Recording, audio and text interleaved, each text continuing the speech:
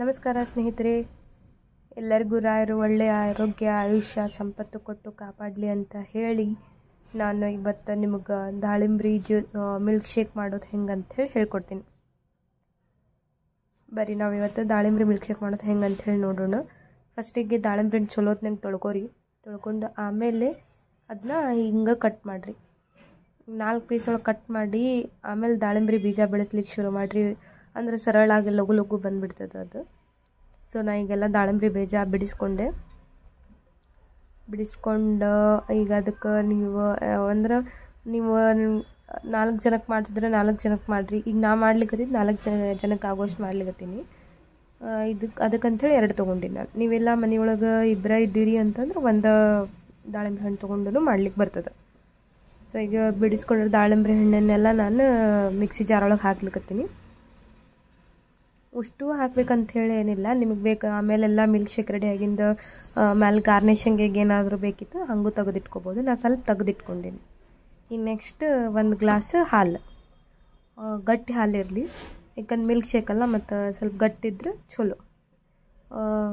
ನೀವು ನೀರು ಮಿಕ್ಸ್ ಮಾಡಿ, ಮಾಡಿದ್ರಿ ಅಂತಂದ್ರೆ ಅದು ದಾಳಿಂಬ್ರಿ ಹಣ್ಣಿಂದ ಜ್ಯೂಸ್ ಆಗ್ತದೆ. ಮಿಲ್ಕ್ ಜ್ಯೂಸ್ ಆಗ್ತದೆ. ಮಿಲ್ಕ್ ಶೇಕ್ ಆಗಂಗಿಲ್ಲ ಅದು. ಯಾಕಂದ್ರೆ ಮಿಲ್ಕ್ ಶೇಕ್ ಅಂದ್ರೆ ಸ್ವಲ್ಪ ಥಿಕ್ ಇರಬೇಕಲ್ಲ. ಆಮೇಲೆ ನೆಕ್ಸ್ಟ್ ಸಕ್ಕರೆ ಹಾಕ್ಲಿಕ್ಕೆ ನೀವು ಡಯಾಬಿಟಿಸ್ ಪೇಷಂಟ್ ಹಂಗೆ ಏನಾರು ಇದ್ರಿ ಅಂತಂದ್ರೆ ಸಕ್ಕರೆ ಹಾಕೊಳ್ಳಿಕ್ಕೆ ಹೋಗ್ಬೇಡ್ರಿ ಹಂಗೆ ಡೈರೆಕ್ಟಾಗಿ ದಾಳಿಂಬೆ ಹಣ್ಣು ಹಾಲು ಹಾಕ್ರಿ. ಈಗ ನಾವು ಹಾಗೇನಿಲ್ಲ ಶುಗರ್ ಪೇಷಂಟ್ ಇಲ್ಲ, ಹಿಂಗಾಗಿ ನಾವು ಸಕ್ಕರೆ ಹಾಕ್ಕೊಂಡು ಮಾಡ್ಲಿಕ್ಕತ್ತೀವಿ ನೆಕ್ಸ್ಟ್ ಡ್ರೈ ಫ್ರೂಟ್ಸ್ ನಿಮಗೆ ಯಾವ ಬೇಕು ಡ್ರೈ ಫ್ರೂಟ್ಸ್ ಹಾಕೋರಿ. ನಾ ಬರೀ ಗೋಡಂಬಿ ಒಂದೇ ಹಾಕೊಂಡಿನಿ. ಯಾಕಂದ್ರೆ ನಮ್ಮ ಮನ್ಯಾಗ ಇದ್ದಿದ್ದು ಗೋಡಂಬಿ ಒಂದೇ ಇತ್ತು, ಅದರ ಸಂಬಂಧ. ನೆಕ್ಸ್ಟ್ ಜೇನುತುಪ್ಪ ಹಾಕಿದೆ. ಜೇನುತುಪ್ಪ ಹಾಕಿದ್ರೆ ಇದು ಜೇನುತುಪ್ಪ ಬ ದೇಹಕ್ಕೆ ಭಾಳ ಚಲೋ ಅನ್ ಹೆಲ್ದಿ ಅದು. ಅದಕ್ಕೆ ಹಾಕಿನಿ. ಎಲ್ಲರೂ ಅಂತೀರಿ ಸಕ್ಕರೆನೂ ಹಾಕಿದಿ, ಜೇನುತುಪ್ಪನೂ ಹಾಕಿದಿ, ಮತ್ತು ಸಿಹಿ ಆಗಂಗಿಲ್ಲನು ಫುಲ್ ಅಂತೇಳಿ ಅಂತೀರಿ. ಹಾಗೇನಿಲ್ಲ, ಅದನ್ನು ಅಳತಿ ಒಳಗೆ ಹಾಕಿನಿ. ಈಗ ನಾವು ಸಕ್ಕರೆ ಭಾಳ ತಿಂತೀವಿ ಅಂತಂದ್ರೆ ಸ್ವಲ್ಪ ಹೆಚ್ಚಿಗೆ ಹಾಕ್ಕೋಬೇಕು. ಜೇನುತುಪ್ಪ ಕಮ್ಮಿ ಹಾಕೀನಿ. ಹಂಗೆ. ನಿಮಗೆ ಬೇಡ ಅಂತಂದ್ರೆ ಜೇನುತುಪ್ಪ ಹಾಕ್ಕೊಳ್ಳಿಗೂ ಹೋಗ್ಬೇಡ್ರಿ ನೆಕ್ಸ್ಟ್ ಇದನ್ನು ಮಿಕ್ಸಿಗೆ ಹಾಕ್ರಿ. ಭಾಳ ಹೆಲ್ದಿ ಅದ, ಸರಳ ಅದ ಇದು ಮಾಡೋದು ದಾಳಿಂಬೆ ಹಣ್ಣಿನ ಮಿಲ್ಕ್ ಶೇಕ್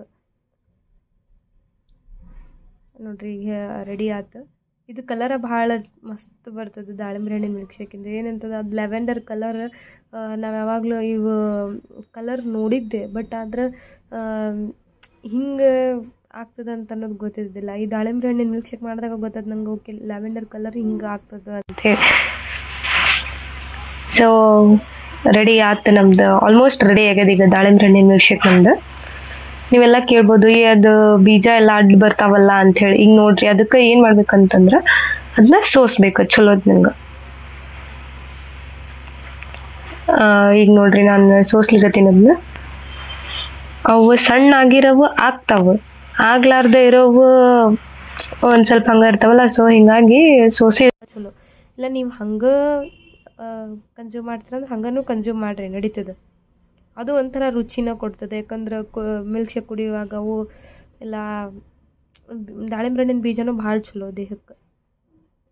ನೋಡಿರಿ ಎಷ್ಟು ಚಲೋ ಆಗಿ ರೆಡಿ ಆಗಿದೆ ನಮ್ಮ ದಾಳಿಂಬೆ ಹಣ್ಣಿನ ಮಿಲ್ಕ್ ಶೇಕ್ ಭಾಳ ಅಂದ್ರೆ ಭಾಳ ಸರಳದ ಏನಂತಂದ್ರೆ ಮನೆ ಒಳಗೆ ಎಲ್ಲನೂ ನಿಮ್ಮ ಅಮ್ಮನ ಹಿಂಗೆ ಮಾಡಿಕೊಡ್ತಿರ್ತಾರಲ್ಲ, ಒಮ್ಮೆ ನೀವು ನೋಡಿರಿ ಇದನ್ನು ನೀವು ಒಮ್ಮೆ ಒಂದು ದಿವಸ ಅವ್ರಿಗೆ ಇದನ್ನು ಮಾಡಿಕೊಡ್ರಿ ಅವ್ರ ಅಂತಾರೆ ನೋಡ್ರಿ ಬೇಕಂದರೆ ಎಷ್ಟು ಚಲೋ ಸರಳದ ಅಂತ ಹೇಳಂತಾರೆ. ಯಾವಾಗಲೂ ಅವರ ಯಾಕೆ ಮಾಡಿಕೊಡ್ಬೇಕು? ನಾವು ಒಂದು ಸ್ಟೆಪ್ ಮುಂದೆ ತೊಗೊಂಡು ನಾವು ಅವ್ರಿಗೆ ಹೆಲ್ಪ್ ಮಾಡಬೇಕಲ್ಲ ಸ್ವಲ್ಪ.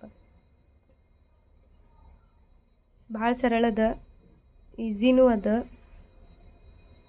ಹೆಲ್ದಿ ಮೇನ್ ಅಂದ್ರೆ ಹೆಲ್ದಿ ಅದ.